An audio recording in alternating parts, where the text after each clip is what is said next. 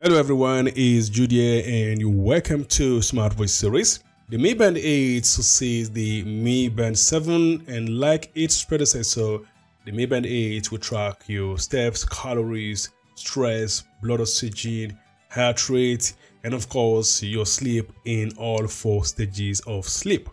So guys, I have been getting a lot of questions on whether the Mi Band 8 is an accurate sleep tracker. To answer that question, I had to wear the Mi Band 8 alongside the Galaxy Watch 5 Pro and the Huawei Band 8. And from my test, I can authoritatively say that the Mi Band 8 has been very consistent and accurate in tracking my total sleep duration. However, since an electroencephalogram wasn't applied in my test, I cannot actually say if the Mi Band 8 is accurate in tracking the time spent in the various stages of sleep. An EEG, which tracks the brain activity during sleep, is the only way to accurately determine if a device is a good sleep tracker. From the results I have here, if you look at the Galaxy Watch 5 Pro, it is 3 hours and 37 minutes. That's the total sleep duration. For the Huawei Band 8, it is 3 hours 41 minutes. And for the Mi Band 8, it is 3 hours 41 minutes. So you can see that we have very similar results as far as sleep duration is concerned. However, if you look at the time spent in the various stages of sleep, that is where you begin to have a very um, great discrepancies among the different devices. For the Galaxy Watch 5 Pro, surprisingly, it says I spent 0 minutes in the deep stage. For the Huawei Band 8, it is 1 hour and um, 0 minutes. And for the Mi Band 8, it is 1 hour 28 minutes.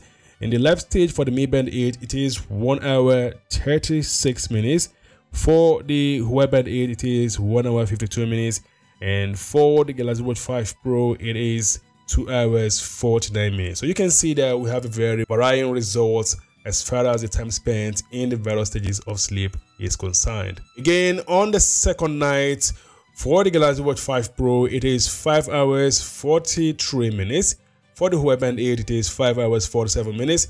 And for the Mi Band 8, it is 5 hours 47 minutes. Again, you can see we have very close results as far as the total sleep duration is concerned, but the time spent in the various stages of sleep varies greatly amongst the different devices. On the third night for the Galaxy Watch 5 Pro, it is 6 hours, and for the Huawei Band 8, it is 5 hours 59 minutes. With the Mi Band 8, it is 6 hours 3 minutes. So you can see that we are having very close results as far as the total sleep duration is concerned. On the fourth night for the Galaxy Watch 5 Pro, it is 5 hours 58 minutes. For the Huawei Band 8, it is 5 hours 15 minutes.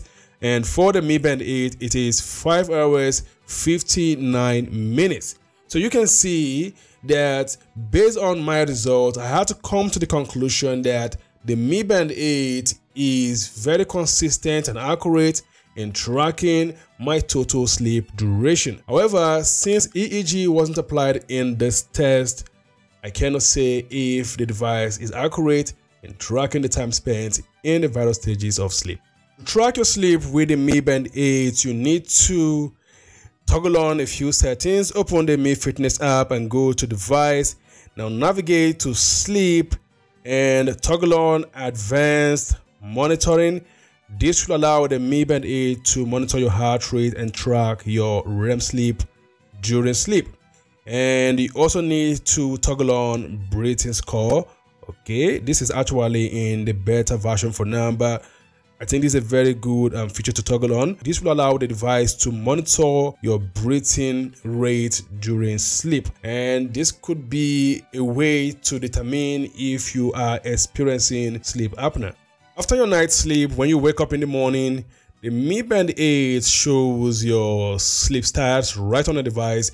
If you go to the sleep app on the device, you will see your total sleep duration okay this is my sleep duration for last night and this is six hours 54 minutes. It shows the time you started sleeping the time okay? And if you scroll down further you should see the time spent in the various stages of sleep.